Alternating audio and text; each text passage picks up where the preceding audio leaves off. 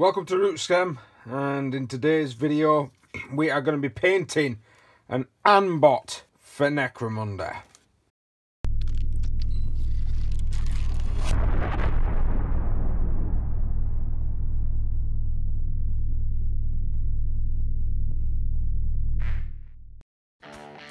So painting this Ambot's going to be quite easy. You are going to require an airbrush and before we continue please like, share, subscribe all the usual gubbins you do to YouTube channels. It does help us out quite a lot and uh, at times provides me with pocket money to buy more miniatures like this, especially if you watch an advert.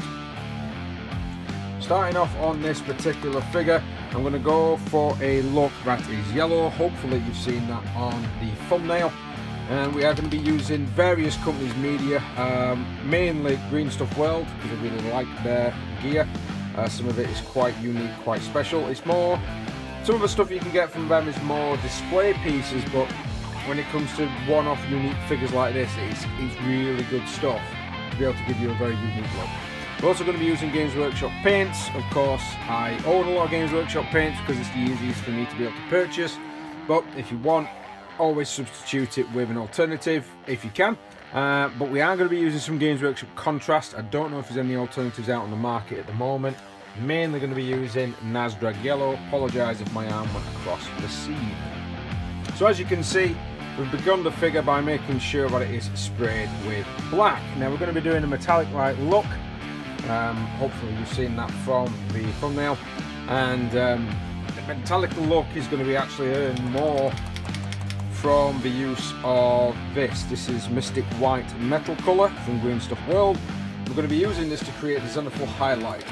Now when I actually put this into the airbrush, we, uh, I'm going to have to clean the airbrush out, but we, I just normally use a little bit of water, uh, a little bit of flow improver. More flow improver than water with this particular type of colour because I do want it to be able to stick.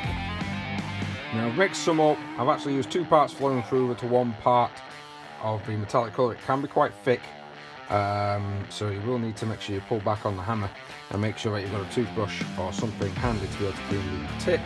Um, I'm doing it as a Zenithal highlight I'm going to try and pick out certain points. I'm not going to try and do everything amazingly, we're just going to be picking, sorry, not everything everywhere, but we are just going to be picking out points. You will need to do several passes with this colour because it goes on but it's very thin. The best thing to do is to get it where you want it and then do and come in for another pass.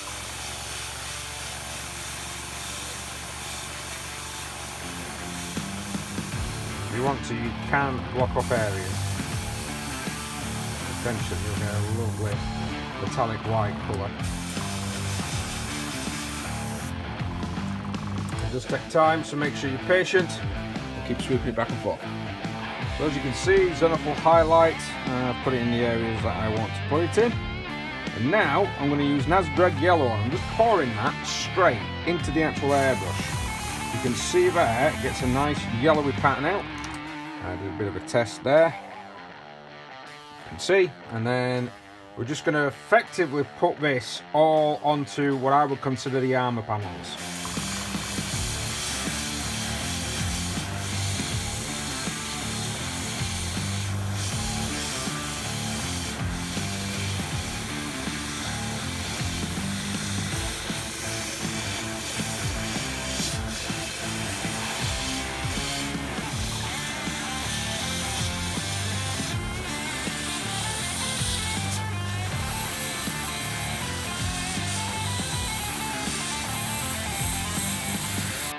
Painted up, we've got quite a nice goldy yellow looking figure.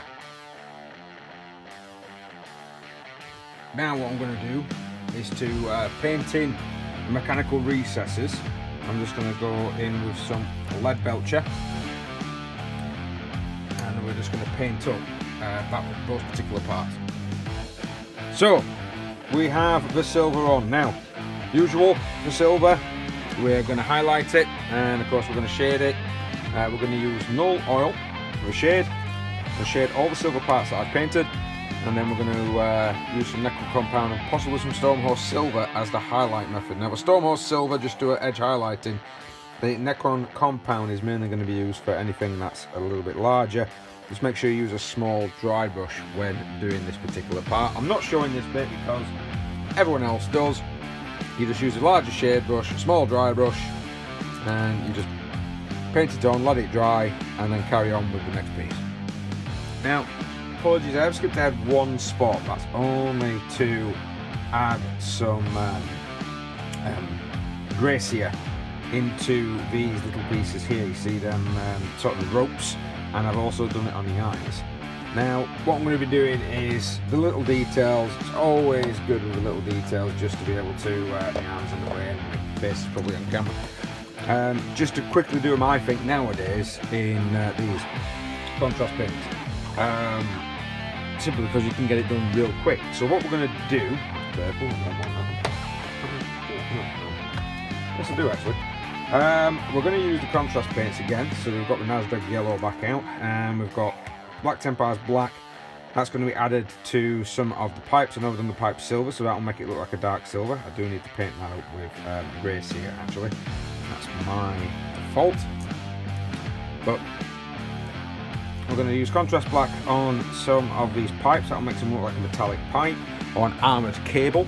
Um, we're going to use the pink we're going to do that on the front jaws here and possibly on one of those nodes and then the red is going to be painted into the eyes. Now when you paint it into the eyes I'm going to try and get it so it just touches the outer bit of the eye and kind of gives it a bit of a glow and there's not going to be much else to do. We are going to be doing some patterns into the shoulders but I'm quite liking the look of this beast uh, being quite one solid colour uh, with some little bits in there and then of course we're just going to go on to the basin but I will show you what patterns I wanted some hazard some black and white hazard stripes so I'm going to show you how to do that but like I say pipes front mandibles eyes that's for the cables and purple I'm just going to paint this bit here purple. So that bit and that bit pink that bit purple cables.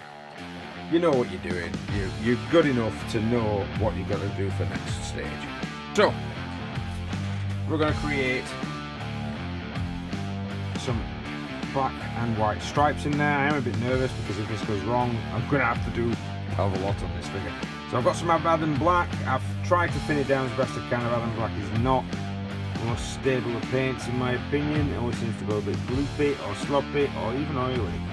And I'm just going to fill it in these panels you only require two coats of this included both panels on both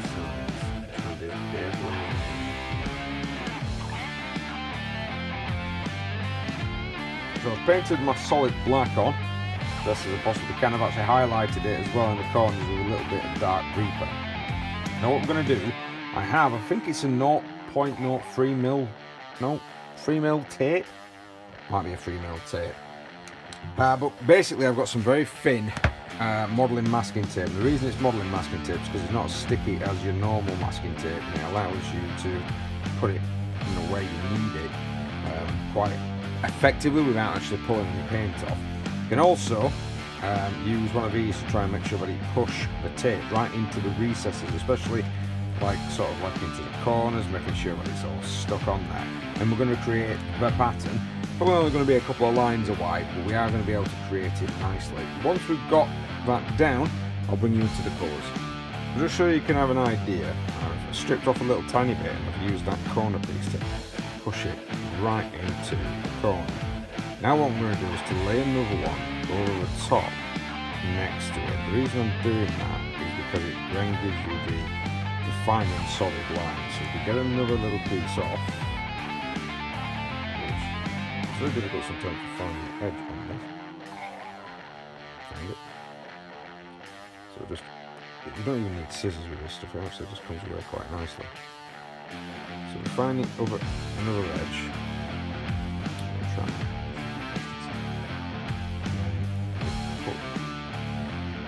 Try and layer it the best you can.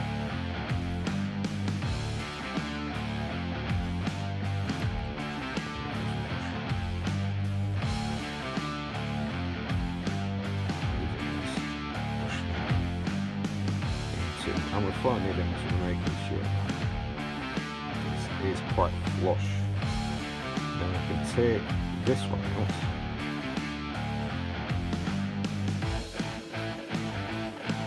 And you see we're going to get our pattern. So don't have to waste it, we can use this one on the side.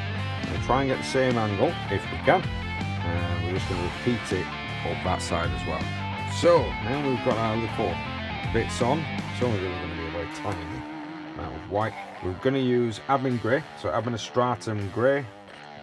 Sure it down a little. I'm running out of space on my homemade wet palette, but there we go.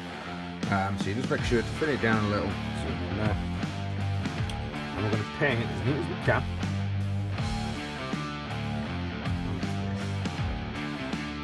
Will, don't get me wrong, you kind of need to make away that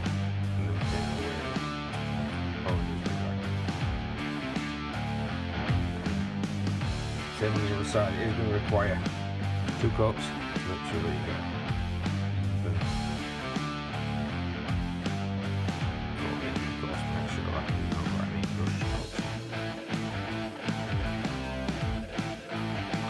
Thin Games Workshop paints dry pretty quick. As you can see, it's already on there, and now I'm going to put uh, some Ulthuan Grey. Oh, yep, Ulthuan, that one. And I'm going to kind of try and concentrate it in the middle, I'm going to try and leave the edges as best as I possibly can. Again, just make sure that you're pulling from both directions. Needs a couple of coats.